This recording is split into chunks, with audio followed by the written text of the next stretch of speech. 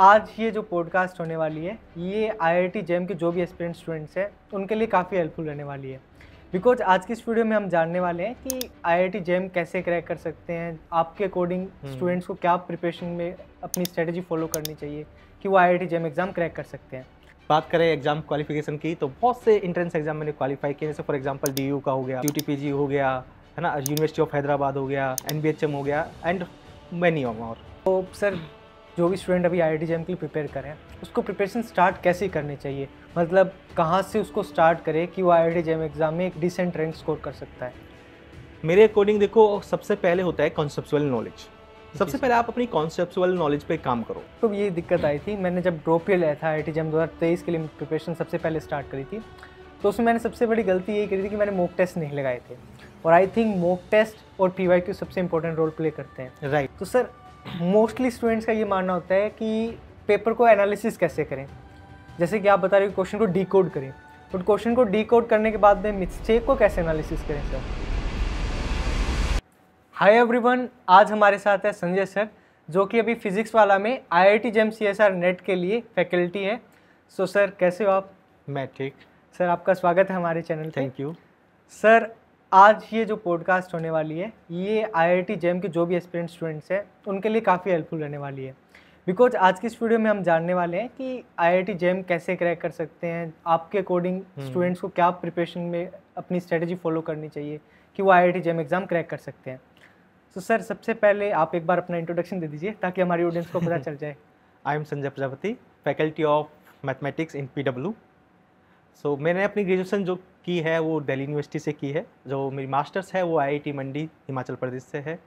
और बात करें एग्ज़ाम क्वालिफिकेशन की तो बहुत से इंट्रेंस एग्ज़ाम मैंने क्वालिफाई किए। जैसे फॉर एग्जांपल डी का हो गया आपका सीयूटीपीजी हो गया है ना? यूनिवर्सिटी ऑफ़ हैदराबाद हो गया आप एंड एनबीएचएम हो गया एंड मैनी और ओके सर सो काफ़ी एग्ज़ाम्स आपने क्रैक हाँ. किए वैसे सो अकॉर्डिंग टू मी इतने एग्ज़ाम का एक्सपीरियंस स्टूडेंट्स के लिए काफ़ी बेनिफिशियल रहेगा। तो सर सबसे पहले मेरे मन में ये डाउट आता है कि कोई भी अगर आई आई जेम का एस्पिरेंट है वो सबसे पहले यही सोचेगा कि आई आई जेम की प्रिपरेशन स्टार्ट करनी क्यों है? देखो मेरे अकॉर्डिंग आई आई जेम की जो जो प्रिपरेशन है वो स्टार्ट क्यों करनी चाहिए? क्योंकि एक आई आई जेम में ना आपको एक्सप्लोर एक्सप्लोरेशन जो है ना वो बहुत ज़्यादा मिलता है। हाँ जी सर आप जैसे स्टेट यूनिवर्सिटी हो गया अगर आप वहाँ से करते हो ना लोकल से करते हो और या इवन सेंट्रल यूनिवर्सिटी से भी करते हो। बिल्कुल उनसे अगर कंपेयर करें हाँ तो जो आपको एक होता है ना कि एक्सप्लोरेशन बहुत ज़्यादा आई में मिलता है। आप वहाँ जाके बहुत सारी नई चीज़ें सीखोगे।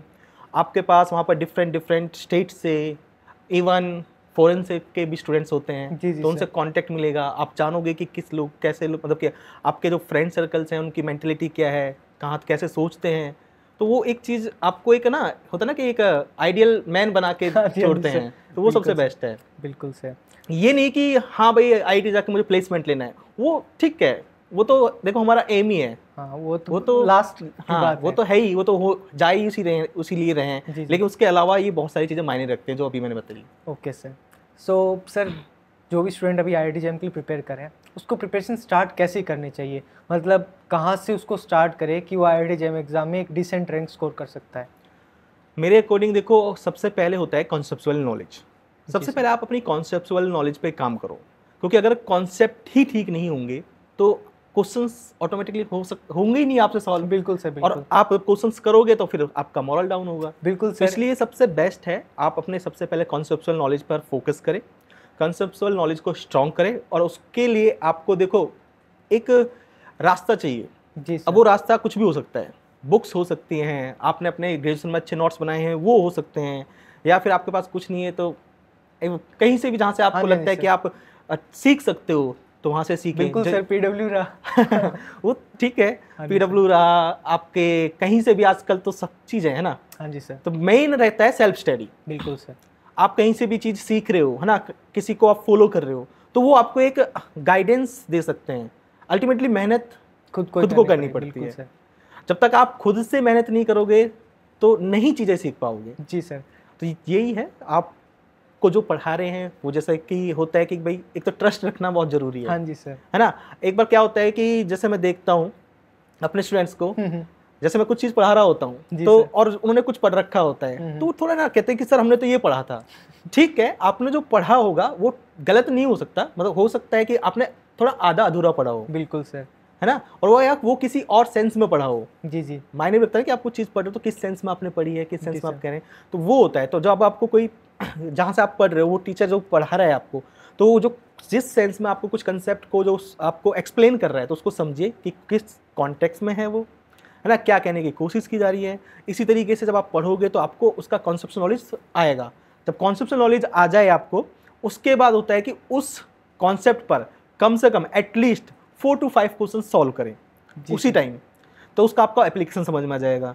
जैसे ही वो टॉपिक कंप्लीट होता है उसके बाद जैसे आप आई की तैयारी कर रहे हो हम्म, तो आई के पी अगर उस कॉन्सेप्ट पर आए हुए हैं तो उस पर पी को सॉल्व कीजिए और जानिए कि क्वेश्चन कह क्या रहा है।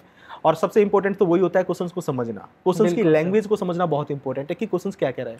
और उसको वो ब्रेक करके ही जान सकते हो हाँ कि ये हाँ हमको गिवन है लिख लो कि ये है ये गिवन है। फिर ये सेकंड है ये हमको गिवन है। अब आप देखो कि आपने ऐसा कुछ पढ़ा है कि अगर ये चीज़ होती है तो क्या होता है? हम्म, अगर आपको पढ़ा है तो आपके माइंड में क्लिक करेगा कि हाँ भाई ये होता है तो ऐसा हो ऐसा सकता होता है। है बिल्कुल बिल्कुल सर ठीक है? अब ऑप्शंस देखो आप। ऑप्शंस होते हैं कि ऑप्शंस में ये गिवन है। अच्छा ये हमको क्वेश्चन में ये गिवन है ऑप्शन में कह रहा है कि ये है हो सकता है क्या? अब आप देखो कि किस बेस पर हो सकता है। हम्म, हम क्या चीज़ इसमें ऐड करें और या किस किस चीज़ को यहाँ से क्या कंस्ट्रक्ट कर सकते हैं? तो उस तरीके से आप with conceptional knowledge with question practice आपकी जो तैयारी है वो बहुत अच्छी होती है। सर मेरे को भी यही दिक्कत आई थी। मैंने जब ड्रॉप लिया था आई टी जम दो हज़ार तेईस के लिए प्रिपरेशन सबसे पहले स्टार्ट करी थी।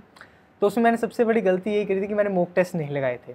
और आई थिंक मॉक टेस्ट और पी वाई क्यू सबसे इंपॉर्टेंट रोल प्ले करते हैं। Right right. तो सर मोस्टली स्टूडेंट्स का ये मानना होता है कि पेपर को एनालिसिस कैसे करें? जैसे कि आप बता रहे हो क्वेश्चन को डीकोड करें। बट क्वेश्चन को डीकोड करने के बाद में मिस्टेक को कैसे एनालिसिस करें सर देखो क्या होता है कि हम क्वेश्चंस पढ़ा हमने उस पर कुछ कंसेप्ट लगाया। अब हमको उस टाइम लग रहा है कि हमारे अकॉर्डिंग हमने सही लगाया है। बिल्कुल सर। लेकिन हो सकता है कि जो कॉन्सेप्ट हमने लगाया और जो हमको गिवन है उसका कुछ मैच ही नहीं कर रहा हो। हम्म, है ना? हो जी, सक जी, हो, होता भी यही है। बिल्कुल सर। तो फिर उस तरीके से एनालिसिस करो आपका ऑप्शन गलत हुआ है। तो हम्म। आप ये देखो कि क्यों गलत हुआ है। मैंने वहाँ पर हम्म। ये चीज़ लगाई थी मेरे को ये गिवन था तो मैंने ये लगाने के बाद मेरा ये ऑप्शन ठीक हुआ था according to me that time yes sir लेकिन ये गलत है। अब आप उसका सॉल्यूशन ढूंढोगे कि गलत क्यों है? तो आपको खुद रिलाइज हो जाएगा। आप उसको ये नहीं कि गलत हो गया तो चल छोड़ो। नहीं आप उसको सोचो कि क्यों है उस पर रिसर्च करो कि इस कारण गलत हुआ है। तो आपने जो कॉन्सेप्ट लगाया था तो आपको एक्चुअल में समझ में आएगा कि ये कॉन्सेप्ट इस क्वेश्चन में वैलिड नहीं था। बिल्कुल सर बिल्कुल। तो ये होता है।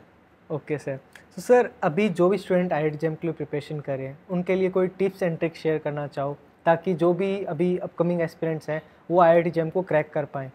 देखिए जैसा कि वही है तैयारी वाले कैसे करें आंसर वही है कि आप अभी बहुत टाइम है आप अपने कॉन्सेप्ट पर काम कीजिए अच्छे से जी सर। और एक ना मेरा मानना ये भी है कि सारा सिलेबस पढ़ने की ज़रूरत नहीं होती। बिल्कुल सर है ना? और ना हम सारा सीख सकते हैं। हम्म, हम्म, मान चलो मेरा लीनियर जब स्ट्रॉन्ग है तो हो सकता है ग्रुप थ्योरी वीक हो।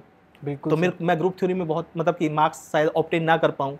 अब मैं ग्रुप थ्योरी पे लगा पड़ा हूँ लगा पड़ा हूँ और आपको समझ नहीं रहा। और एट द एंड नेगेटिव चले जाए नेगेटिव चले जाए हाँ तो वो टाइम भी स्पेंड किया हुआ भी कुछ नहीं नहीं। तो इससे अच्छा है कि आप वहाँ पर फोकस करो जहाँ से आप कुछ का गेन कर सकते हो। बिल्कुल सर बिल्कुल। तो जहाँ से आपका है वीक पोर्शन पर आप काम कीजिए। ऐसा नहीं कि नहीं कीजिए। अगर काम कर करो कोशिश करो पढ़ना सब चाहिए। लेकिन जहाँ से आपको दिख जाता है एक ना फील हो जाता है कि यहाँ ये मेरा मतलब कि स्ट्रॉन्ग टॉपिक है ये टॉपिक है या मैं मैं इसमें कुछ कर पा रहा हूँ। बिल्कुल अब बिल्कुल ही नहीं हवा ही नहीं लगी तो भाई छोड़ दो। बिल्कुल खामा क्यों? इससे अच्छा है कि भाई एक होता है ना कि आप के अकाउंट में जैसे कहते हैं ना कि आपके अकाउंट में सौ रुपए हैं। जी सर। है ना? अब आप ये सोचो कि भाई एक रुपया एक बाई चांस कट डिटेक्ट हो गया बैंक वाले डिटेक्ट कर लिया। अब आप ये सोच सोच के परेशान हो कि एक रुपया डिटेक्ट क्यों कर लिया? हम्म, अरे भाई आपके अकाउंट में अब स्टिल नाइन्टी नाइन रुपीज़ है उस पर फोकस कर। लो। है ना? बिल्कुल तो उसको। देख के अब एक एक ऐसे ही हाँ होता है कि एक हम्म। टॉपिक समझ में नहीं आ रहा उसी के पीछे लगे रहते हैं लगे रहते हैं और टाइम खर्च होता रहता है बाकी टॉपिक्स में फिर वैसे दिमाग नहीं चलता। बिल्कुल तो इसलिए है कि जो आपके टॉपिक्स हैं उनको स्ट्रॉन्ग कीजिए और कोशिश करिए कि जो आपका स्ट्रॉन्ग टॉपिक्स है उसमें आप आउट ऑफ़ हंड्रेड परसेंट में से हंड्रेड परसेंट ला पाओ और वही आपका स्कोरिंग होता है। ओके सर तो इस तरीके से प्रिपरेशन करोगे तो अच्छा रहेगा। So thank you so much sir and that's it for today's video so मिलते हैं अगले वीडियो में. Till then keep learning keep exploring guys bye bye